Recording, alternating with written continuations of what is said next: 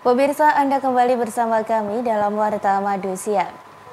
Pemirsa, seorang mantan sekretaris desa berinisial NMT yang juga mantan pejabat kecil atau kepala desa Gampong Alu Gandeng Kampong, Kecamatan Birembayan, Kabupaten Aceh Timur, diamankan Satuan Tipikor Polres Langsa atas kasus manipulasi data pemanfaatan anggaran desa tahun 2016 dan tahun 2017.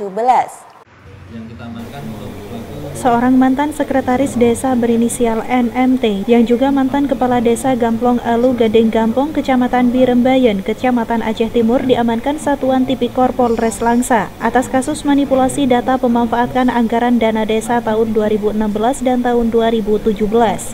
Berdasarkan informasi yang dihimpun Kapolres Langsa, AKBP Agung Kanigoro Nusantoro melalui Kasat Reskrim Ibtu Imam Aziz Rahman mengatakan, pada Rabu 8 Juni 2022 sekitar pukul 18 waktu Indonesia Barat, Unit 3 Tipikor Satreskrim Polres Langsa mengamankan tersangka dugaan tindak pidana korupsi dengan hasil perhitungan kerugian keuangan negara atau daerah sebesar 373 juta rupiah yang dilakukan oleh NMT.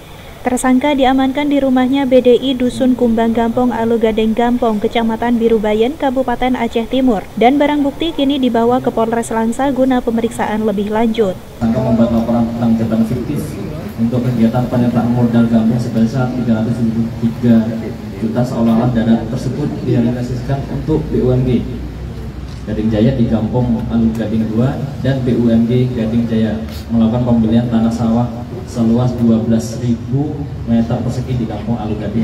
Dari NM ini yang sudah ditetapkan sebagai tersangka, merekayasa LPJ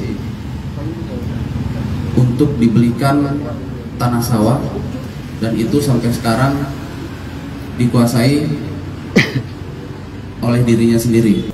Barang bukti yang disita di antaranya sertifikat tanah hak milik nomor 125, satu eksemplar fotokopi laporan penanggung jawaban tahap 1 pembiayaan tahun anggaran 2017 senilai 373 juta rupiah yang sudah dilegalisir tersangka NMT. Tersangka dijerat pasal 2, pasal 3, pasal 8, dan pasal 18 Undang-Undang Nomor 31 Tahun 1999 Junto Undang-Undang Nomor 20 Tahun 2021 tentang pemberantasan tindak pidana korupsi.